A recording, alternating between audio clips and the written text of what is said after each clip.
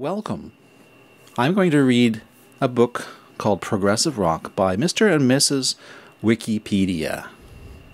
And the Prog Dogs here to enjoy it along with you and I.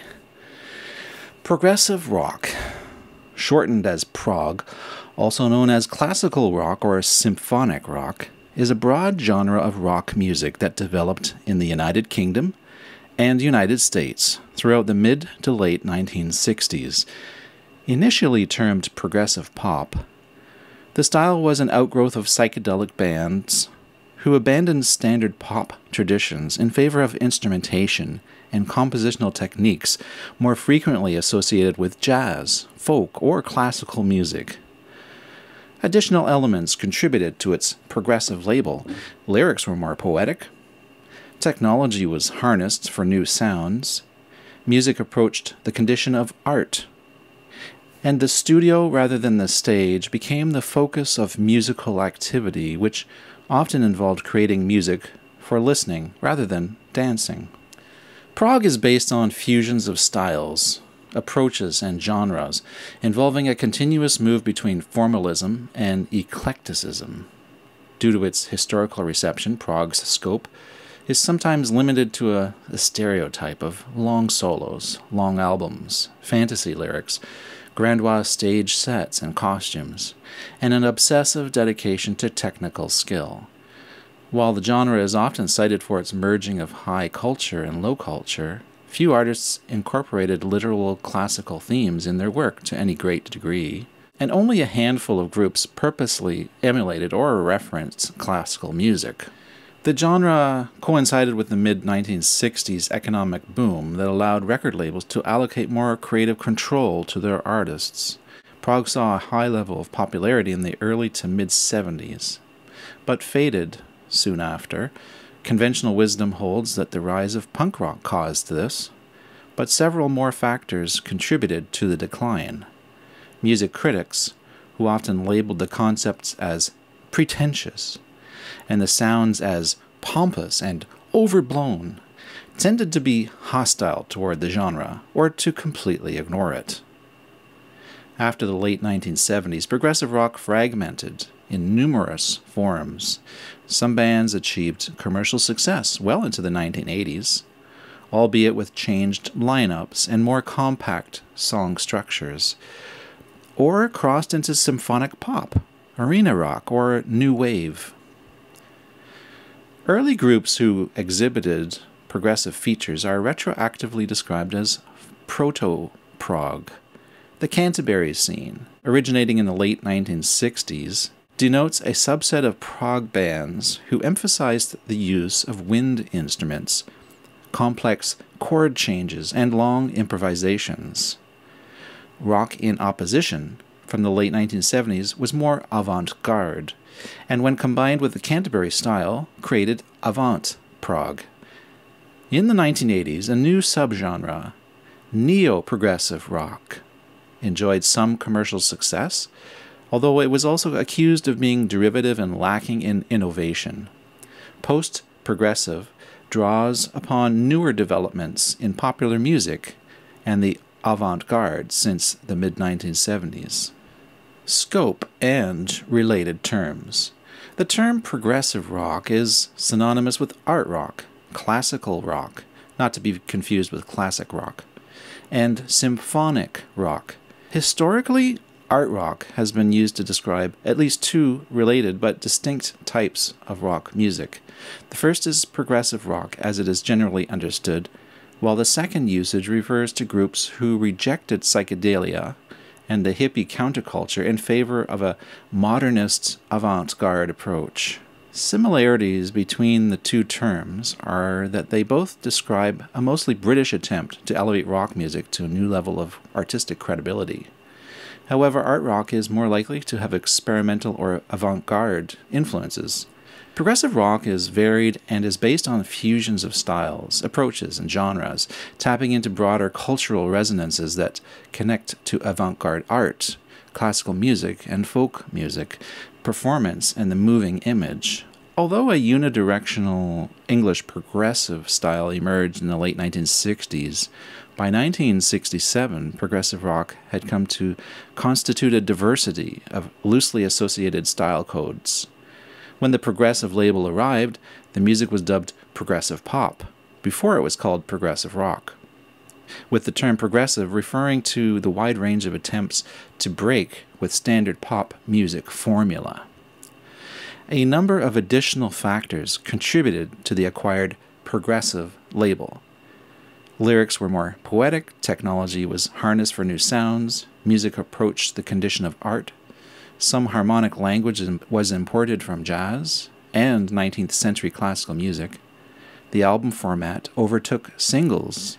Writer Emily Robinson says that the narrowed definition of progressive rock was a measure against the term's loose application in the late 60s when it was applied to everyone from Bob Dylan to the Rolling Stones.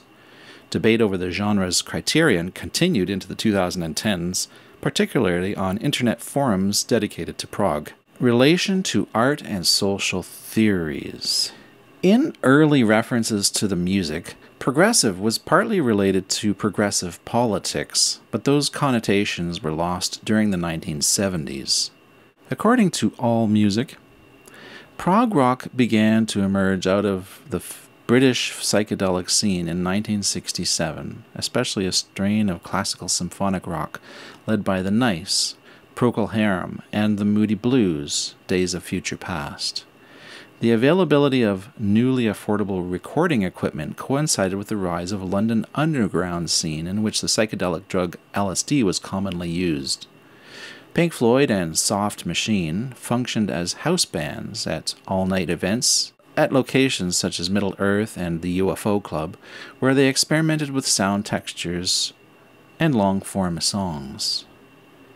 Many psychedelic, folk rock, and early progressive bands were aided by exposure from BBC Radio 1 and DJ John Peel. Jimi Hendrix, who rose to prominence in the London scene and recorded with a band of English musicians, initiated the trend towards guitar virtuosity and eccentricity in rock music.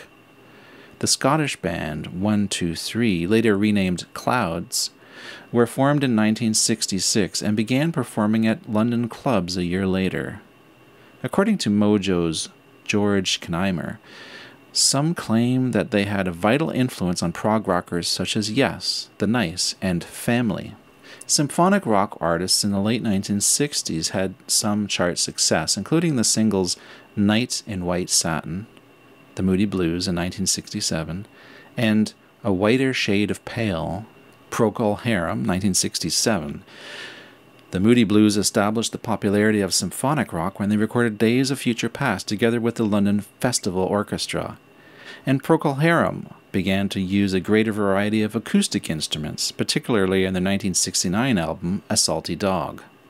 Classical influence sometimes took the form of pieces adapted from or inspired by classical works, such as Jeff Beck's Beck's Bolero, and parts of the Nice's Ars Longa Vita Brevis. The latter, along with such nice tracks as Rondo and America, reflect a greater interest in music that is entirely instrumental, Sgt. Pepper's and Days both represent a growing tendency toward song cycles and suites made up of multiple movements. Focus, the band Focus, incorporated and articulated jazz style chords and irregular offbeat drumming into their later rock based riffs. And several bands that included jazz style horn sections appeared, including Blood, Sweat, and Tears and Chicago, of these, Martin highlights Chicago in particular for their experimentation with suites and extended compositions, such as the ballet for a girl in Buchannon and Chicago 2. Jazz influences appeared in the music of British bands such as Traffic, Colosseum, and If, together with the Canterbury scene bands such as Soft Machine and Caravan. Canterbury scene bands emphasize the use of wind instruments, complex chord changes, and long improvisations. Martin writes that in 1968, full blown progressive rock was not yet in existence, but three bands released albums who would later come to the forefront of the music Jethro Tull, Caravan, and Soft Machine. The term progressive rock, which appeared in the liner notes of Caravan's 1968 self titled debut LP, came to be applied to bands that used classical music techniques to expand the style and concept available to rock music. The Nice, the Moody Blues, Procol Harum, and Pink Floyd all contained elements of what is now called progressive rock, but none represented as complete an example of the genre as several bands that formed soon after. Almost all of the genre's major bands, including Jethro Tull, King Crimson, Yes, Genesis, Van der Graaf, Generator, ELP, Gentle Giant, and Renaissance, released their debut albums during the years 1968 to 1970. Most of these were folk rock albums that gave little indication of what the band's mature sound would come to be. But King Crimson's In the Court of the Crimson King 1969 was a fully formed example of the genre. Critics assumed the album to be the logical extension and development of late 1960s work exemplified by the Moody Blues, Procol Harum, Pink Floyd, and the Beatles. According to McCann, the album may be the most influential to progressive rock for crystallizing the music of earlier bands into a distinctive, immediately recognizable style. Most of the genre's major bands released their most critical acclaimed albums during the years 1971 to 1976. The genre experienced a high degree of commercial success during the early 1970s. Jethro Tull, ELP, Rush, Yes, and Pink Floyd combined for four albums that reached number one in the US charts, and 16 of their albums reached top 10.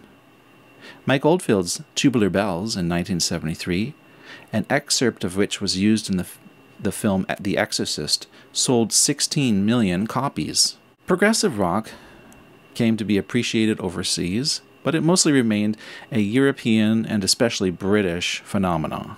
Few American bands engaged in it, and the purest representatives of the genre, such as Starcastle and Happy the Man, remained limited to their own geographic regions. This is at least in part due to music industry differences between the US and Great Britain. Cultural factors were also involved, as U.S. musicians tend to come from a blues background, while Europeans tended to have a foundation in classical music. North American progressive rock bands and artists often represented hybrid styles, such as the complex arrangements of Rush, the hard rock of Captain Beyond, the southern rock tinged prog of Kansas, the jazz fusion of Frank Zappa and Return to Forever and the eclectic fusion of the all instrumental Dixie Dregs. British progressive rock acts had their greatest U.S. success in the same geographic areas in which British heavy metal bands experienced their greatest popularity.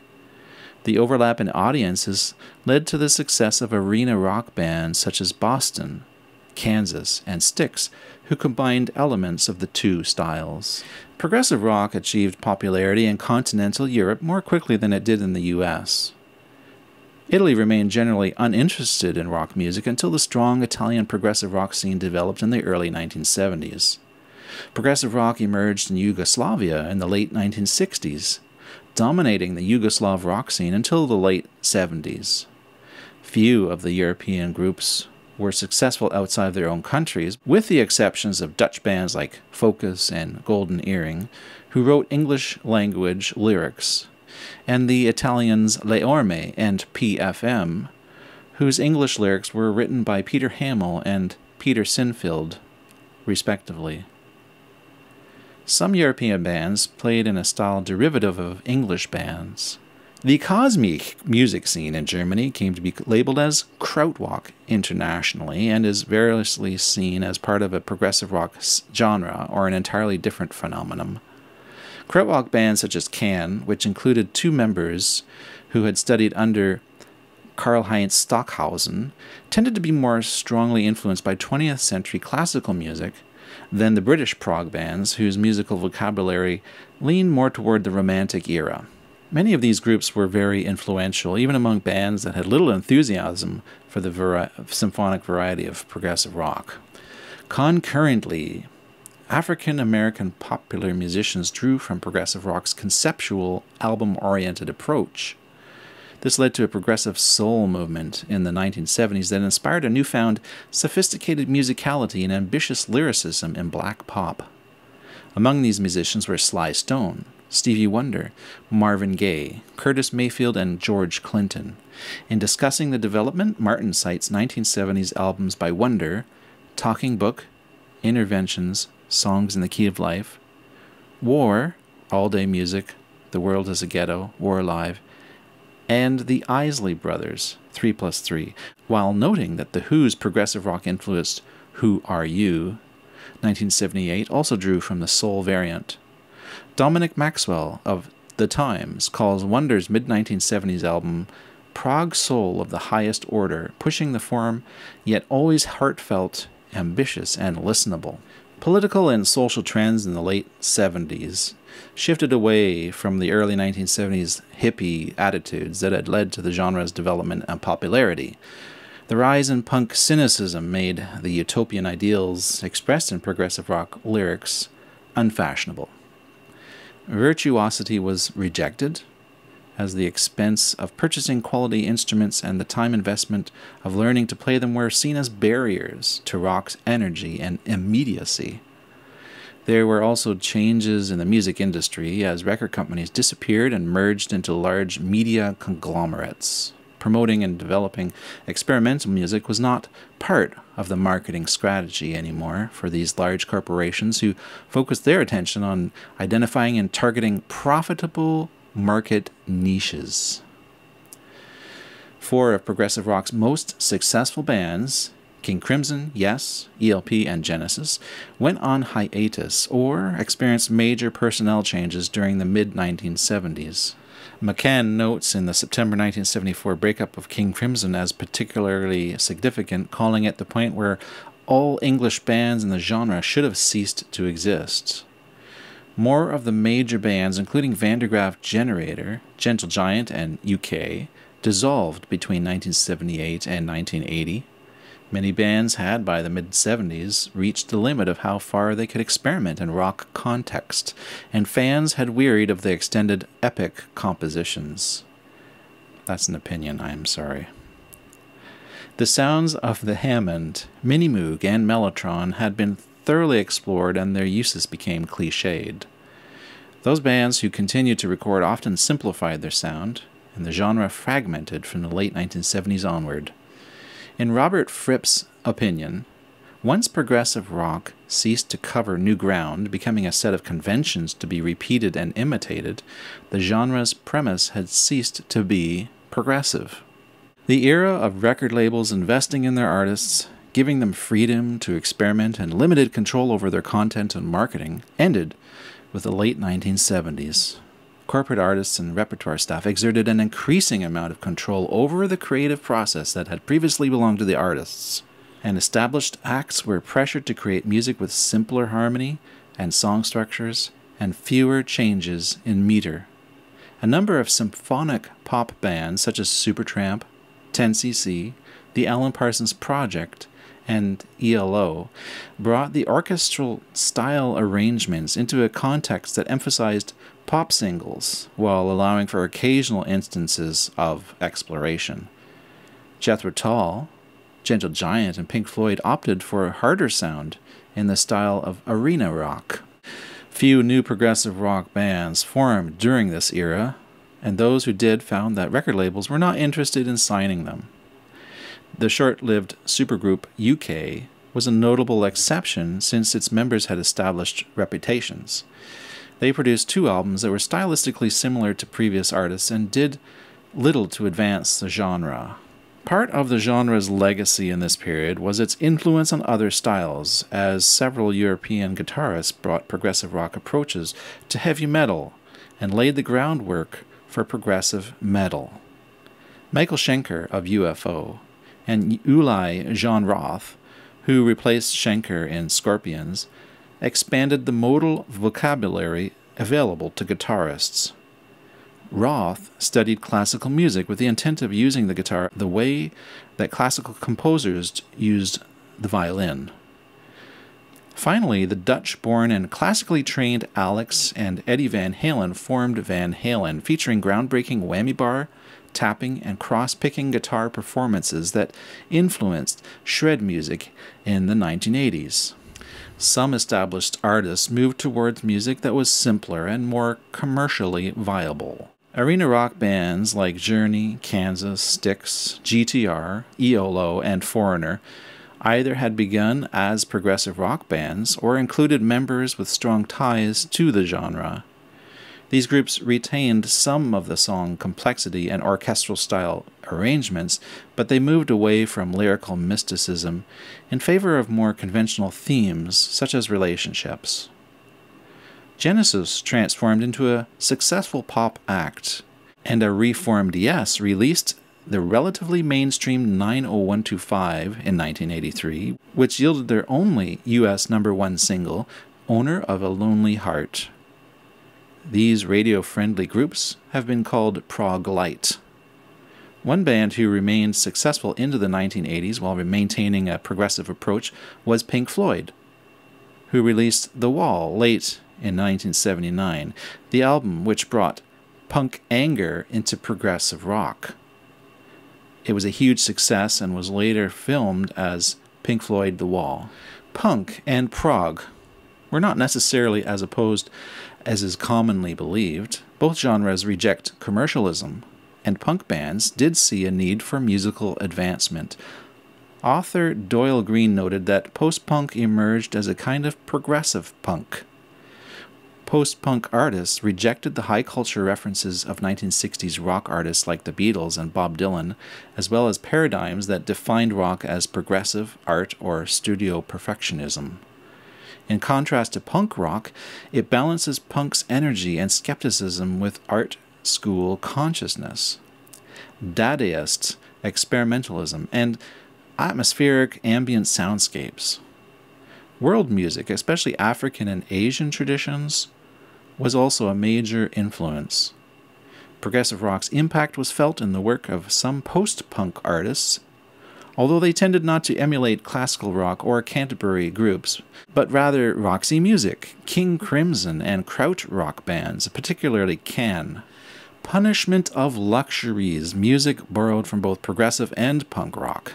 Whilst Alternative TV, who were fronted by the founder of the influential punk fanzine Sniffin' Glue, Mark Perry, toured and released a split live album with Gong, offshoot Here and Now. The term post progressive identifies progressive rock that returns to its original principles while dissociating from the 1970s prog styles, and may be located after 1978. Martin credits Roxy Music's Brian Eno as the subgenre's most important catalyst, explaining that his 1973 to 77 output merged aspects of progressive rock with a prescient notion of new wave and punk. New Wave, which surfaced around 1978 79 with some of the same attitudes and aesthetic as punk, was characterized by Martin as progressive, multiplied by punk. Bands in the genre tended to be less hostile toward progressive rock than the punks, and there were crossovers such as Fripp and Eno's involvement in Talking Heads, and Yes's replacement of Rick Wakeman and Jon Anderson with the pop duo The Buggles. When King Crimson reformed in 1981, they released an album, Discipline, which McCann says inaugurated the new post progressive style. The new King Crimson lineup featured guitarist and vocalist Adrian Belew, who also collaborated with the Talking Heads, playing live with the band and featuring on their new 1980 album Remain in Light. According to Martin, Talking Heads also created a kind of new wave music that was the perfect synthesis of punk urgency and attitude, and progressive rock sophistication and creativity. A good deal of the more interesting rock since that time is clearly post Talking Heads music, but this means that it is post progressive rock as well. Neo progressive rock. A second wave of progressive rock bands appeared in the early 1980s and have since been categorized as a separate neo progressive rock subgenre. These largely keyboard based bands played extended compositions with complex musical and lyrical structures. Several of these bands were signed by major labels, including Marillion, IQ, Pendragon, and Palace. Most of the genre's major acts released debut albums between 1983 and 85 and shared the same manager, Keith Goodwin, a publicist who had been instrumental in promoting progressive rock during the 1970s. The previous decade's bands had the advantage of appearing during a prominent countercultural movement that provided them with a large potential audience. But the neo progressive bands were limited to a relatively niche demographic and found it difficult to attract a following. Only Marillion and Saga experienced international success. Neo progressive bands tended to use Peter Gabriel era Genesis as their principal model. They were also influenced by punk, hard rock, and punk rock. The genre's most successful band, Marillion, suffered particularly from accusations of similarity to Genesis, although they used a different vocal style, incorporated more hard rock elements, and were very influenced by bands such as Camel and Pink Floyd. Authors Paul Hegarty and Martin Halliwell have pointed out that the neo progressive bands were not so much plagiarizing progressive rock as they were creating a new style from a progressive rock element just as the bands of decades before had created new styles from jazz and classical elements. Author Edward McCann counters by pointing out that these bands were at least partially motivated by a nostalgic desire to preserve the past rather than to drive uh, and innovate. 1990s to 2000s, third wave a third wave of progressive rock bands who can be also described as a second generation of neo progressive bands emerged in the 1990s. The use of the term progressive to describe groups that follow in the style of bands from 10 to 20 years earlier is somewhat controversial, as it has been seen as a contradiction of the spirit of experimentation and progress.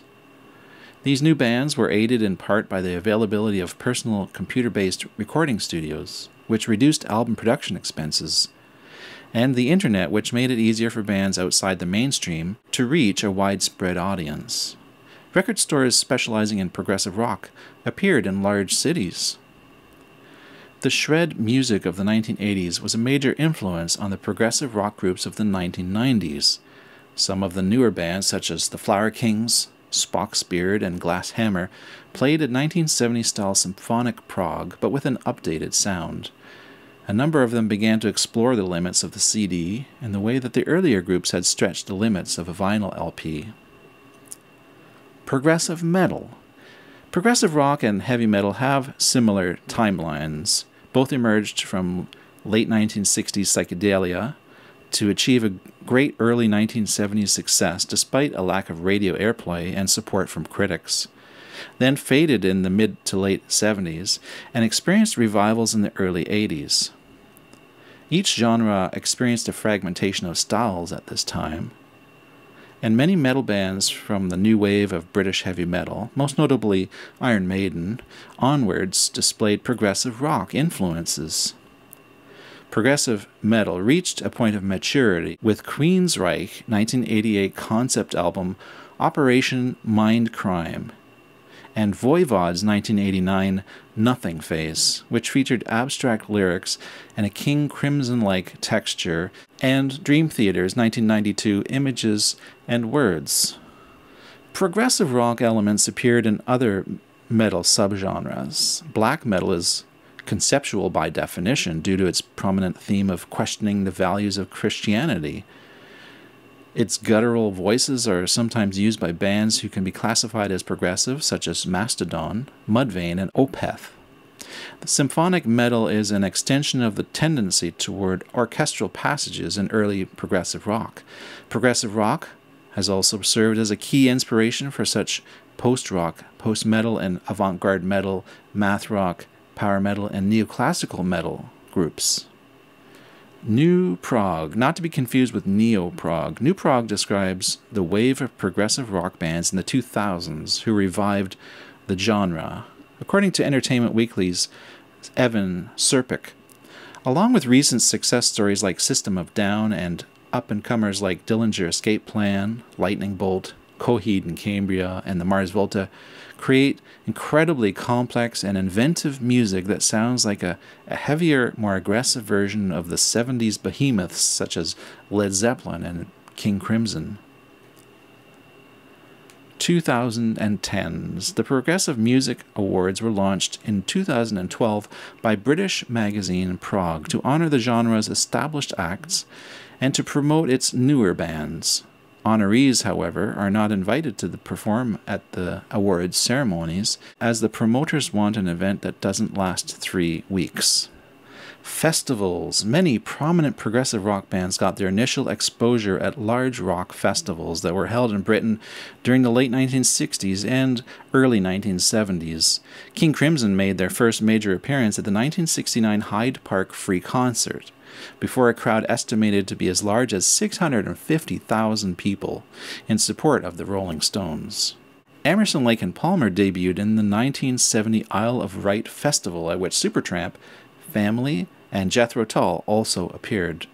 Jethro Tull were also present at the 1969 Newport Jazz Festival, the first year in which that festival invited rock bands to perform. Hawkwind appeared at many British festivals throughout the 1970s, although they sometimes showed up uninvited, set up a stage at the periphery of the event, and played for free. Renewed interest in the genres in the 1990s led to the, led to the development of progressive rock festivals. Progfest, organized by Greg Walker and David Overstreet in 1993, was first held in UCLA's Royce Hall and featured Sweden's Anglagard, the UK's IQ, Quill and Citadel. CalProg was held annually in Whittier, California during the 2000s. The Northeast Art Rock Festival, or Nearfest, held its first event in 1999 in Bethlehem, Pennsylvania, and held annual sold out concerts until 2012's Nearfest Apocalypse, which featured headliners UK and Renaissance. Other festivals included the annual ProgDay, the longest running and only outdoor Prog festival in Chapel Hill in North Carolina, the annual Rites of Spring Festival, RoSfest, in Sarasota, Florida, the Rogue Independent Music Festival in Atlanta, Georgia, Baja Prog in Mexicali, Mexico, Prog Power USA in Atlanta, Georgia, Prog Power Europe in Baarlo, Netherlands, and Prague Progstock in Rahway, New Jersey, which held its first event in 2017. Progressive Nations Tour was held in 2008 and 2009 with Dream Theater as the headline act. Night of the Prog in St. Goarshausen, Germany is an established European progressive rock festival held every July during two to three days for over 12 years. Reception The genre has received both critical acclaim and criticism throughout the years. Progressive rock has been described as parallel to the classical mode of Igor Stravinsky or Bela Bartok. This desire to expand the boundaries of rock, combined with musicians' dismissiveness toward mainstream rock and pop, dismayed critics and led to accusations of elitism.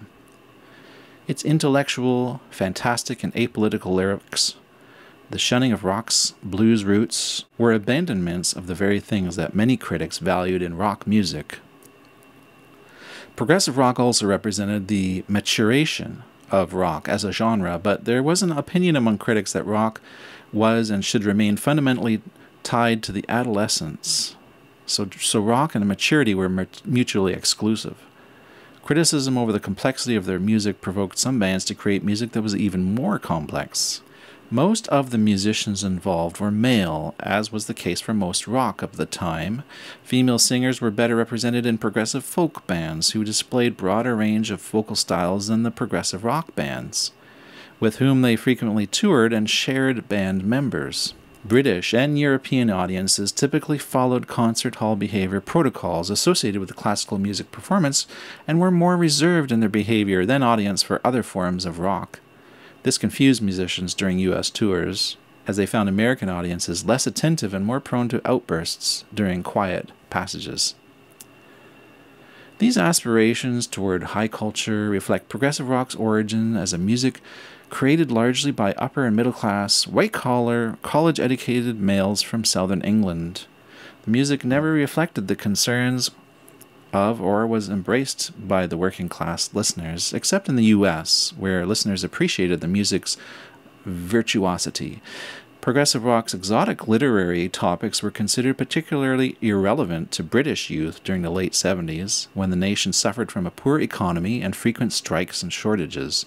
Even King Crimson leader Robert Fripp dismissed progressive rock lyrics as the philosophical meanderings of some English half-wit who is circumnavigating some inessential point of experience in his life.